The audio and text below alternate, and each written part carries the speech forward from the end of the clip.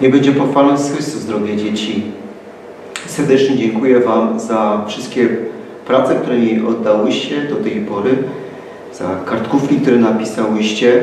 Cieszę się, że uczycie się katechizmu, że nie zaniedbujecie tego przedmiotu tak bardzo ważnego w naszej drodze do nieba, abyśmy coraz lepiej Pana Boga poznawali, Go kochali, Mu służyli w ten sposób, osiągnęli życie wieczne w niebie.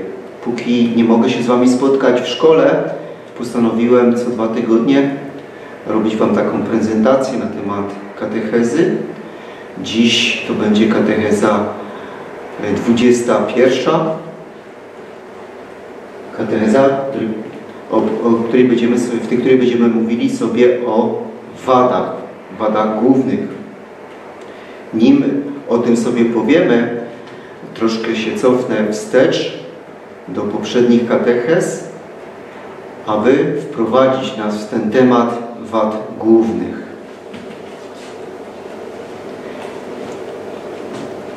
Więc po pierwsze, tak jak mamy tutaj na obrazku, mamy niebo, szczęśliwość wieczną.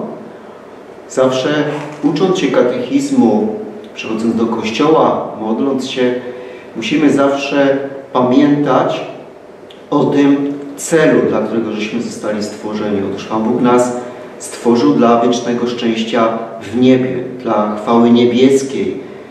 I ten cel zawsze powinien być przed naszymi oczyma, w naszych codziennych pracach, obowiązkach, trudnościach, cierpieniach. Zawsze mieć ten cel, że żeśmy zostali stworzeni dla Pana Boga, dla chwały wiecznej. Przechodzę do następnego slajdu, na którym widnieje cytat świętego Pawła. To jest wola Boża, uświęcenie nasze. Czyli widzimy, wolą Bożą jest, abyśmy stali się świętymi. Pan Jezus nawet powiedział tak piękne zdanie, o którym na pewno nieraz już słyszałyście, drogie dzieci. Mniej więcej one brzmiało w ten sposób, abyśmy byli doskonali, jak mój Ojciec Niebieski w niebie jest doskonały. Więc mógłbym mnożyć te cytaty, które zachęcają nas do tego, abyśmy trwali w łasce, w świętości, abyśmy dążyli do niej. Tak? Tutaj mamy obraz wędrówki górskiej. Tak? Wiele osób daje się w góry, aby zdobywać szczyty i na tym szczycie rozpościera się przepiękny widok. To jest taki obraz naszej pielgrzymki ziemskiej, a celem jest zjednoczenie na wieki z Panem Bogiem. Przechodzę do następnego slajdu. W tej drodze do nieba, do szczęśliwości wiecznej mamy jedno wielkie niebezpieczeństwo. Największe niebezpieczeństwo, o którym uczyłyście się w poprzedniej katechezy, katechezie. Otóż jest to grzech. Każdy grzech, który obraża Pana Boga.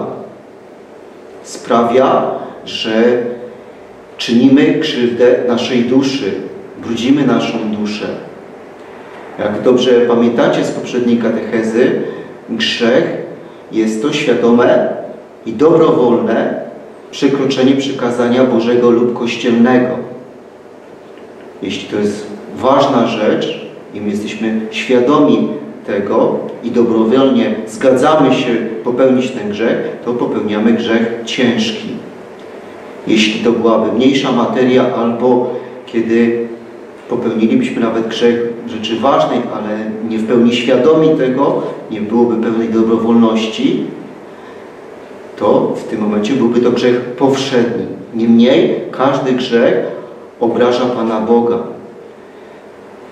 Więc musimy starać się unikać każdego grzechu, nawet najmniejszego, aby sprawić radość Panu Bogu.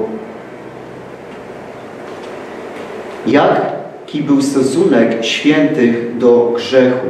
Oto, co możemy tutaj przeczytać. Święci wszystkich epok staczali wielkie walki przeciwko grzechowi. Tym samym zagrzewali nas również, abyśmy i my walczyli z każdym grzechem. W jaki sposób? Oczywiście czyni to przez modlitwy, przez swój własny przykład, jaki nam dali, walcząc z różnymi pokusami, z różnymi trudnościami. Pamiętajmy, że święci nie rodzą się świętymi, ale nimi się stają. Tak więc i my mamy wady, i my mamy swoje słabości, z którymi musimy walczyć za przykładem świętych. Tutaj mamy obrazek na przykład świętego Wawrzyńca, który y, był męczennikiem, który widzimy tutaj został umęczony na takiej kracie. Tę kratę widzimy tutaj podpalano i tak po prostu jak troszkę jakby kotlet smażono świętego Wawrzyńca. W wielkich boleściach umierał za wiarę katolicką, ale pełen ufności, że przez to zasłuży sobie na wieczną chwałę w niebie. Nie zaparł się swojej wiary. I my również mamy trwać w wierze, w przykazaniach Bożych. Nawet jeśli to by nas mocno kosztowało, mamy z tym walczyć. Ale nie tylko mamy walczyć z grzechem, z każdym grzechem, ale z wadami. Każdy z nas ma różne wady, z którymi trzeba nam walczyć. I również do tego zachęcali nas święci. Mówili jakby do każdego z was, drogie dzieci, walczcie, walczcie bez rozejmu i pardonu, ponieważ te szczęśliwe, wygrane bitwy są warte tak wielkiego szczęścia, szczęścia wiecznego, bycia na wieki z świętymi, z Panem Bogiem w niebie. I tu mamy piękny przykład Ani de Guinée, malutkiej dziewczynki, która musiała walczyć ze swoją wadą gniewu. Niejednokrotnie y, miała taką pokusę, aby się zdenerwować, aby być niemiłym dla swojego rodzeństwa, a nawet pewnego dnia, kiedy jej tata był chory, nie mogła wejść do pokoju, aby tata miał spokój, aby mógł wyzdrowieć. Ona pomimo wszystko rozbiła, posłuchajcie dzieci drogie, rozbiła tą szybę, aby móc wejść do taty. Więc widzimy to, co było, stało jej tylko na przeszkodzie. Była bardzo odważna, ale też zarazem uparta. Ale z tą wadą, dzięki łasce Bożej, dzięki częstej Komunii Świętej walczyła. Dając nam przykład i nam, że my również mamy walczyć z naszymi wadami. Pokonywać je, tak jak czynili to święci. Nie tylko grzech, walczymy z grzechem, ale także z naszymi wadami. Nim przejdę do wad, jeszcze bardzo ważne dwa postanowienia. Pierwsze, nasze postanowienie, które musimy sobie powziąć, to jest walka z wrogami naszej duszy. Nie tylko z grzechem, ale z trzema wrogami, którzy w jakiś sposób starają się nas oddalić od Pana Boga. Te trzy obrazki nam troszkę to obrazują. Pierwszy widzimy Pana Jezusa i złego ducha, który kusi go w ten sposób, że pokazuje mu królestwa całego świata i mówi, jeśli oddasz mi pokłon, pokłon będzie wszystko dla Ciebie. Oczywiście Pan Jezus nie mógł ulec takiej pokusie i daje nam przykład, co mamy mówić. Idź precz szatanie, zwycięża go. Więc to jest pierwszy nasz wróg, szatan, który będzie nas kusił, dawał nam złe myśli, zachęcał do grzechu.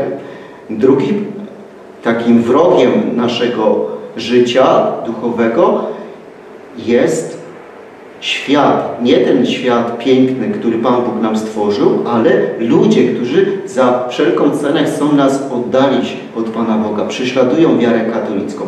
I tu mamy e, przykład takiego e, świętego, błogosławionego kapłana, który podczas rewolucji francuskiej, to jest ten obrazek, został ścięty, zgilotynowany za to, że odprawiał msze święte potajemnie i nie chciał ulec tej władzy rewolucjonistów.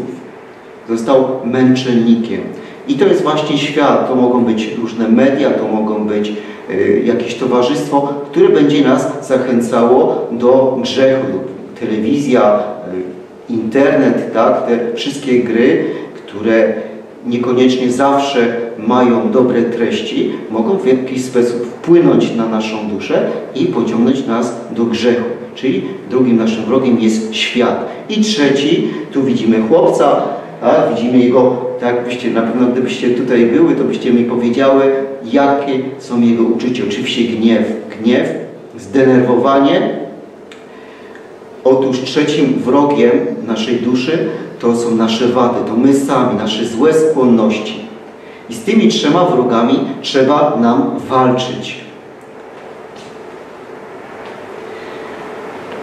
Ale walka z wadami, z grzechem nie wystarczy.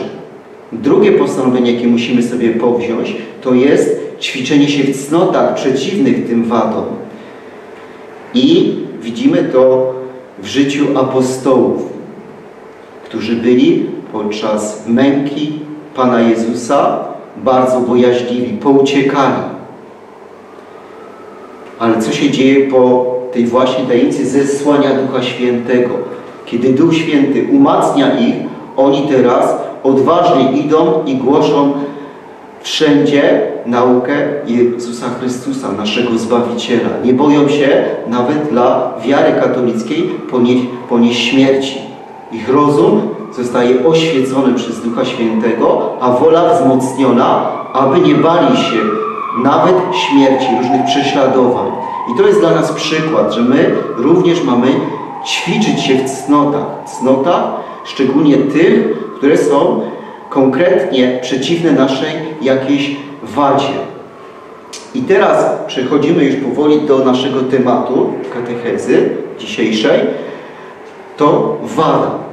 Co to jest ta wada? Wada jest to skłonność, jakaś zła cecha, która prowadzi nas do grzechu, skłania nas do grzechu, pociąga do, do grzechu. I wady są, uwaga, źródłem wielu, wielu grzechów. Tak jak już tutaj wcześniej wspomniałem, czy to grzech ciężki, czy grzech powszedni, o których się ostatnio uczyliście, jest przekroczeniem Bożego przykazania lub przykazania kościelnego. I musimy za wszelką cenę unikać grzechu, ale jak widzicie, te grzechy wypływają z naszych jakichś wad, które musimy dobrze poznać.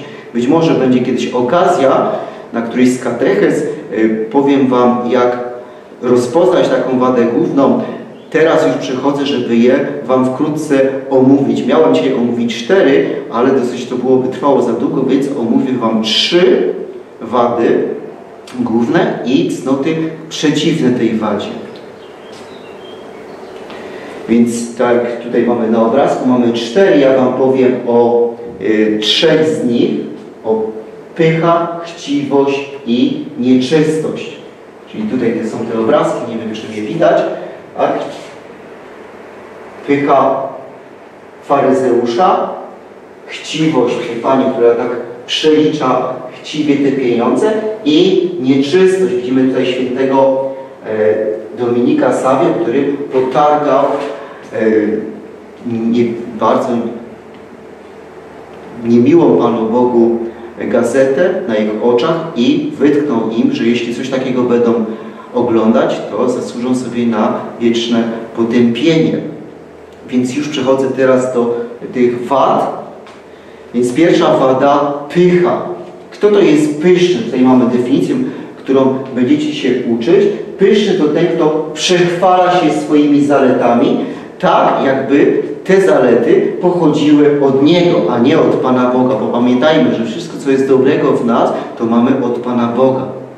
I teraz ktoś, kto ma jakieś talenty, na przykład muzyczne, matematyczne, tak, i tak dalej, to teraz zapomina o tym, że to otrzymał ten dar od Pana Boga i przechwala się, a nawet pogardza bliźnimi, wywyższa się nad innymi. I tu mamy taki przykład właśnie takiej postawy u faryzeusza. Pan Jezus kiedyś opowiadał taką przypowieść o faryzeuszu i celniku i faryzeusz wyszedł do świątyni środkiem, żeby go wszyscy widzieli, dumny i widząc tego celnika, który gdzieś tam z siebie się krył z tyłu przy drzwiach, bijąc się tylko w pierś, Boże, bądź miłościw mnie grzesznemu, to faryzeusz wywyższa się i mówi, Panie, Dobrze, że nie jestem tak jak ten celnik. I podczas tego wejścia do tej świątyni, zamiast modlić się, oddawać cześć Panu Bogu, wychwala swoje zalety. Co On nie robi dla Pana Boga. O dziesięcinach różnych takich uczynkach mówi, zapominając, że przyszedł przecież modlić się do Pana Boga. Więc taka postawa pyszna wzgardza innymi. Sam siebie wywyższa, a pogardza tym celnikiem. To jest pierwsza wada. Jaką cnotą możemy walczyć z tą pychą? Otóż jest to cnota pokory. Pokora to prawda.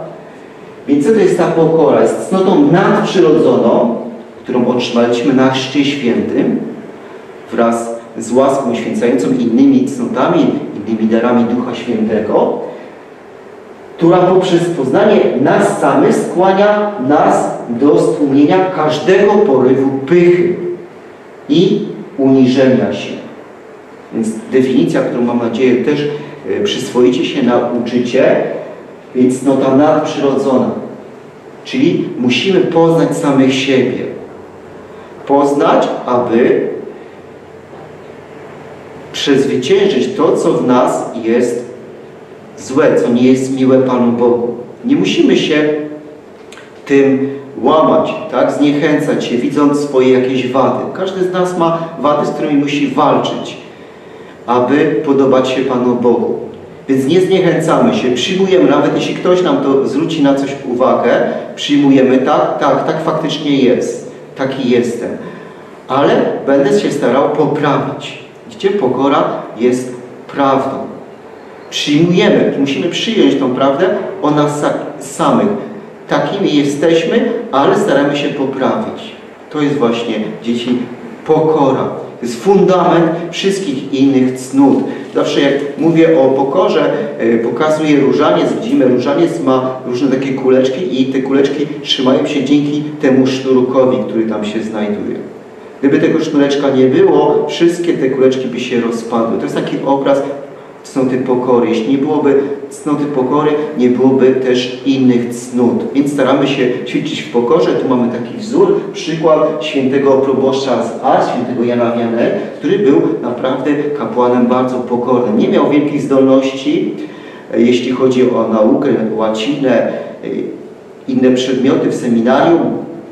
E, nie szło mu aż tak dobrze z różnymi przedmiotami, ale był kapłanem bardzo solidnym, bardzo ofiarnym, choć nie był bardzo jakoś wybitnie inteligentny, to jednak nie przeszkodziło mu w tym, aby stać się świętym kapłanem, aby wiele, wiele dusz przyprowadzić do Pana Boga.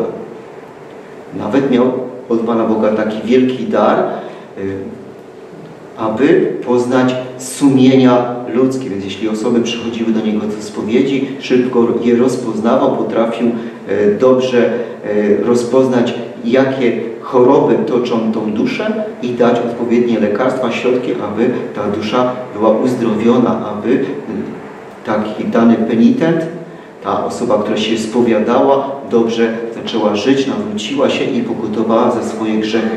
To właśnie sprawiała Jego wielka pokora, Jego wielka miłość do Pana Boga. Dobrze, czyli pierwsza wada to jest pycha, następna, z którą musimy walczyć, to jest chciwość. Chciwiec, kto to jest ten chciwiec? Chciwiec to ten, kto zanadto przywiązuje się do tego, co posiada, a zwłaszcza do pieniędzy. I tutaj od razu przykład, widzimy tutaj obrazek, to jest Judasz. Judasz, który wydał Pana Jezusa za 30 srebrników, właśnie, co było przyczyną? Nie tylko to, że niejako stracił wiarę w Pana Jezusa, w Jego bóstwo, ale chciwość, pragnienie posiadania bogactwa, pieniędzy.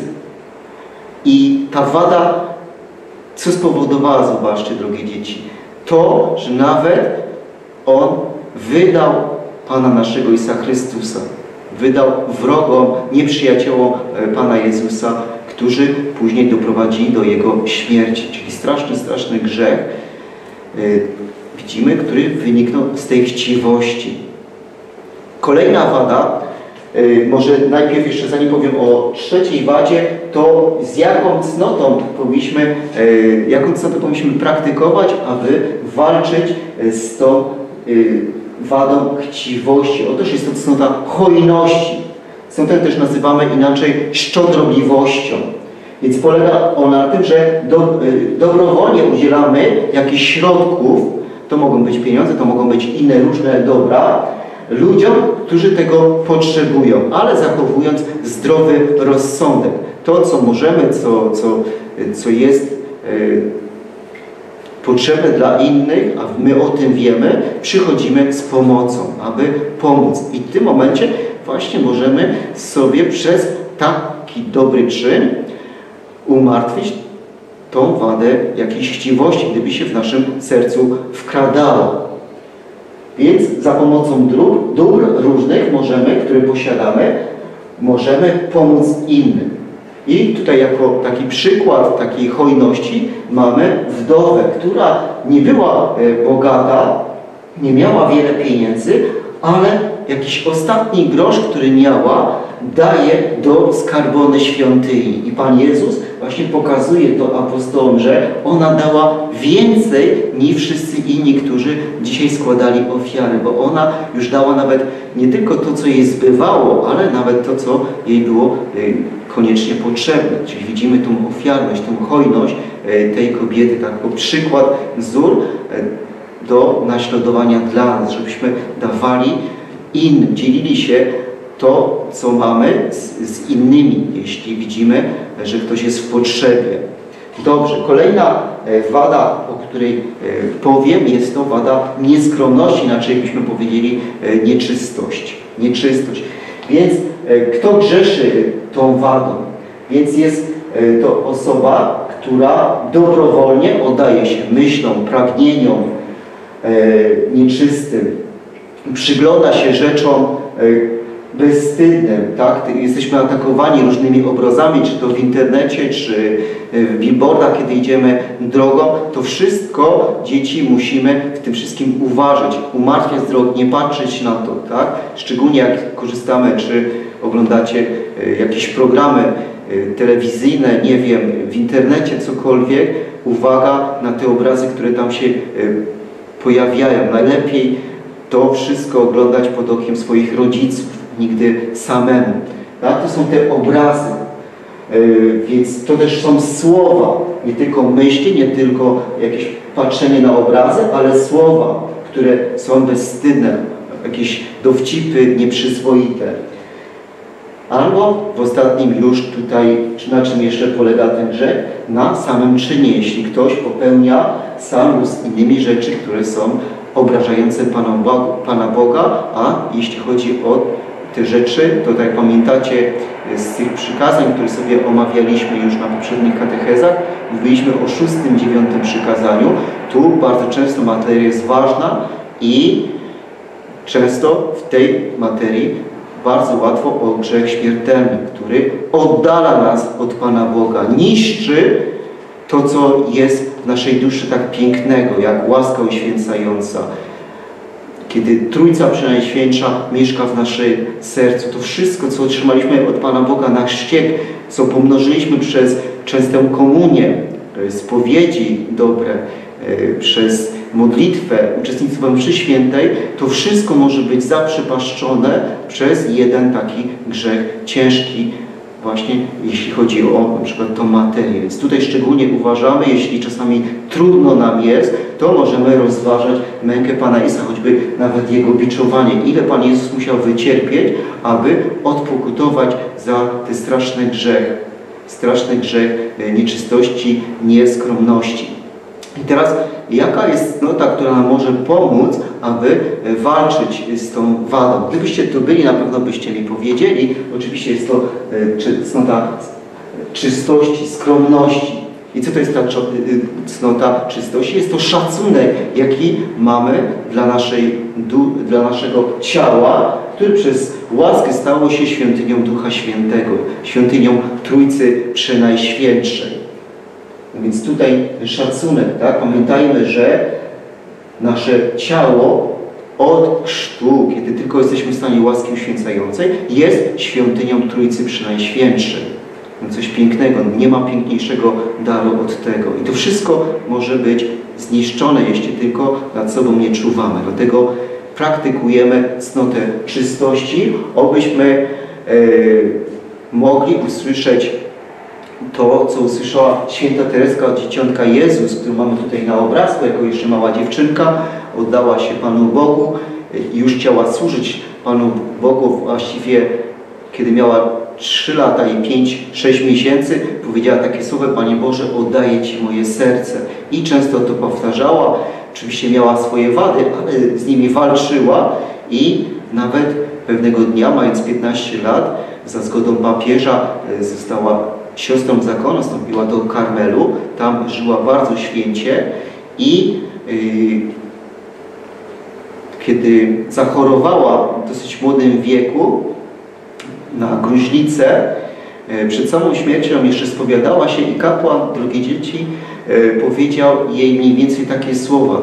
Teresko, nie musisz się niczego bać, otóż nigdy w swoim życiu nie popełniłaś grzechu ciężkiego, wasze drogie dzieci. Więc pomocą łaski Pana Boga, z pomocą e, sakramentów, częstej modlitwy, e, a szczególnie jeśli często przystępujemy do komunii, do spowiedzi, uczestniczymy z wielką wiarą, pobożnością w ofierze mszy świętej, to w tym momencie otrzymujemy potrzebne siły, żeby zachować ten dar łaski. Widzicie, jest to możliwe. Świętej Teresce to się udało, ale nawet jeśli by się to nie udało, popełnilibyśmy grzech ciężki, to nie wolno nam się zniechęcać, tak jak uczyliście się na poprzedniej katechezie, e, sami w domu, wzbudzamy w sobie akt żalu, mocne postanowienie poprawy i przy najbliższej możliwej okazji idziemy do spowiedzi, tak, z taką mocnym postanowieniem, żeby już danego grzechu nie popełniać, aby poprawić się.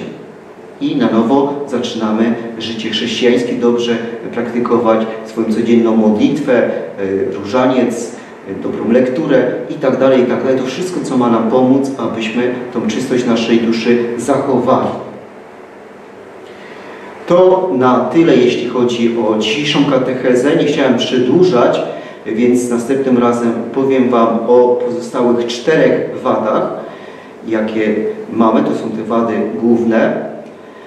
Więc jeszcze, jeśli miałbym to streścić, jeszcze raz powtórzę to, co mniej więcej Wam mówiłem, czyli pamiętajmy o celu, jakim jest nasze zjednoczenie z Panem Bogiem, życie wieczne. Stąd też musimy unikać przede wszystkim grzechu, każdego grzechu, który obraża Pana Boga, walczyć z tym grzechem z pomocą modlitwy, sakramentów, yy, częstej komunii, tak jak Wam przed chwilką powiedziałem, ale nie tylko, nie tylko walka z grzechem, ale z naszymi wadami, a mamy ich siedem. Siedem jest takich grzechów głównych wad.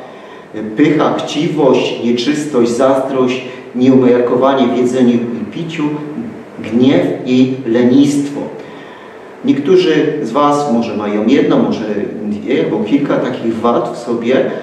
Dobrze je, je sobie poznać, być może te wszystkie prezentacje, które będę Wam robił, co dzisiaj Wam robiłem, już Wam troszkę pomogą, może już się zorientowaliście, co jest taką wadą u Was główną, więc tutaj staramy się z tym walczyć. To y, tyle. Proszę, mm, jak tylko otrzymacie ten filmik, oglądniecie go, y, będziecie mieć do napisania tym razem kartkówkę, już nie te zadania, które mieliście poprzednio do zrobienia, ale tą kartkówkę y, rodzice Wam wydrukują, albo przy, podyktują i uczciwie nauczycie się i potem napiszecie tą kartkówkę. Więc y, mam nadzieję do zobaczenia wkrótce. Y, póki co będę starał się w ten sposób y, uczyć Was katechezy, pomagać Wam w jakiś sposób. Wiem, że już dużo spędzacie przed komputerem, ale być może znajdzie się czas, żeby oglądać takie katechezy wideo. Drogie dzieci, z Panem Bogiem.